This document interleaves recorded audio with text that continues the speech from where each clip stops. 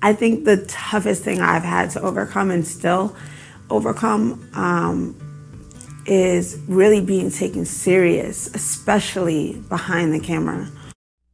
In an interview with career advice organization A Wise Way, film producer and founder of Lanaland Productions Milan Zoe recounts the difficulties she faces at work and on set as a producer being taken seriously by colleagues and coworkers, and asserting herself as an authority rather than a commodity.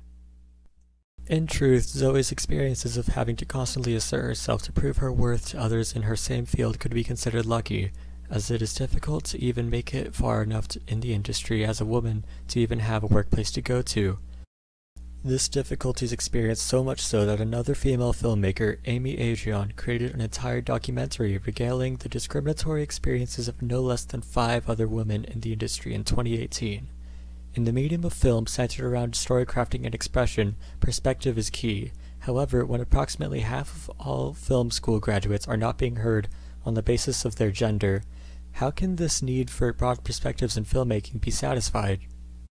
This lecture intends to expand upon the current issues of gender oppression in the film industry, addressing the difficulty women experience in finding work out of film school, the lack of funding given to female led projects, and the suppression of feminine topics in film writing in not just Hollywood, but the global film industry, as expressed in Maria Jansson's 2017 article Gender Equality in Swedish Film Policy Radical Interpretations and Unruly Women, and Naomi McDougall Jones's dissertation What It's Like to Be a Woman in Hollywood. The article we have chosen for this module, Gender Equality in Swedish Film Policy, Radical Interpretations on Unruly Women by Marina Jansson, talks about how Sweden has tried to bridge the gap between men and women in film. When looking into the article, it talks about how they are trying to change the amount of women leading in films. The article goes on to talk about how they would only give funding to films with equal amount of males and females in higher up positions. Why women have always faced the trouble of the glass ceiling, I honestly don't think this is the correct way of going about fixing gender inequality. The glass ceiling refers to the fact that it is harder for women to rise in ranks due to history or pre existing stigmas against women in power. The way that they have it set up, in my opinion, can cause more harm than good. It is likely that in some cases, they have hired women based on the fact that they were women, using them to gain funding. However, there still seems to be benefits to this new system, as the article by Jansson states that there has been an all time high of 58% of films that have had female directors. This is a good thing because younger generations can be inspired by this type of representation, and that can help dissolve the barrier between men and women in film. While looking for articles, I came across an article titled Geena Davis Damaging Stereotypes on Screen Limit Women's Aspirations by Liz Floyd.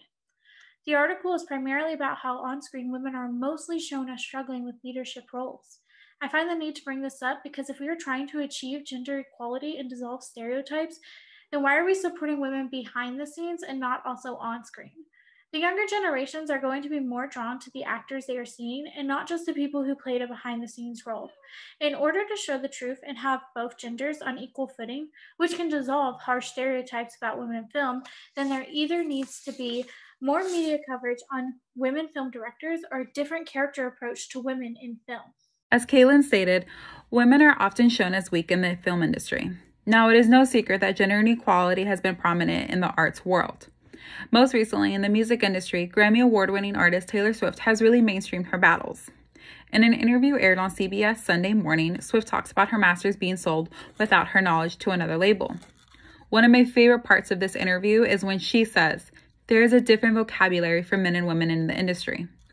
When asked to give an example, Swift says, When a man does something, it is strategic, but with a woman, it is calculated. A man can only react, a woman can only overreact. Women are often put into this category of problematic and or having behavioral challenges. Women are often portrayed in films as victims, a typical representation. The fight to challenge those typical roles of women are often hard, and not many women are willing to put their career at risk.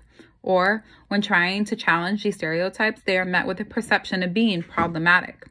Cue in the language of react and overreact. Women should be able to react to these stereotypes and fight these typical roles and not be labeled as problematic. In their section titled Unruly Women, there are specifically two films that were made from the women's point of view. One story was told of an adult woman falling in love with another woman and thus coming out as lesbian. The other story was drawn on personal experiences of domestic abuse and shame. This film, like the previous, was scrutinized for its storytelling. Both producers tell stories of how established persons in the industry have told them that their or their coworkers' careers would be destroyed if they pursued their projects. The immediate question that came to mind was why? Why does a woman have to be bullied into changing what they experience? Women should not be afraid to speak up for equality or be afraid to lose their careers or be labeled over what is right. With waves of feminism like women's suffrage and the Me Too movement, I still, for the life of me, cannot figure out why gender inequality exists. Hi.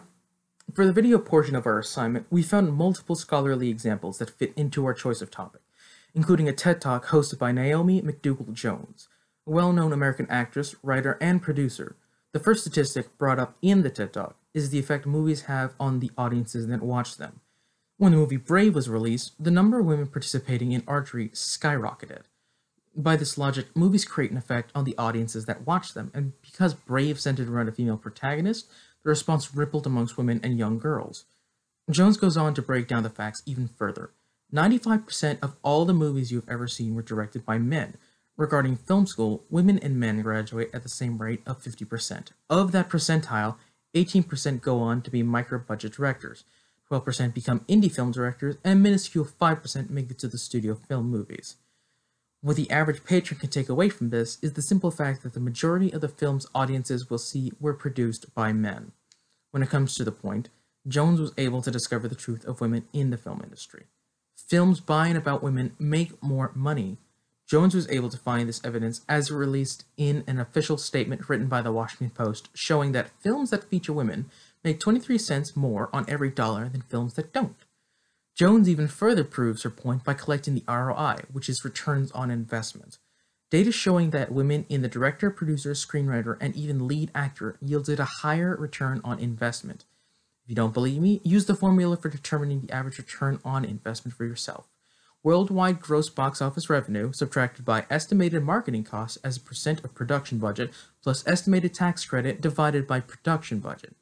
After having looked at all this data, it may seem that women aren't doing too bad for themselves. But imagine how much higher the ROI would be if the number for the women in the film industry didn't reach as low as 5% on studio films. I suppose the key takeaway for this section would have to be the facts as they present themselves. Women in the film industry aren't treated as equals, and given the opportunity of equality in the industry, we as people could get to experience more diverse movies with greater returns on the investments they create. Even though it is 2020, gender stereotypes still do take place. Nobody deserves to be at any disadvantage for their gender. However, this is something that has carried on since the beginning of time. While the world has been moving towards equality, which we have seen more and more recently, it has still not reached it in the world of cinema. Whether it is not being taken seriously or not receiving the same amount of pay, women are definitely at a disadvantage. As you will learn throughout this lesson plan, and as you have learned throughout this lecture, despite the current era we live in, Gender stereotypes unfortunately still do exist in the world of cinema.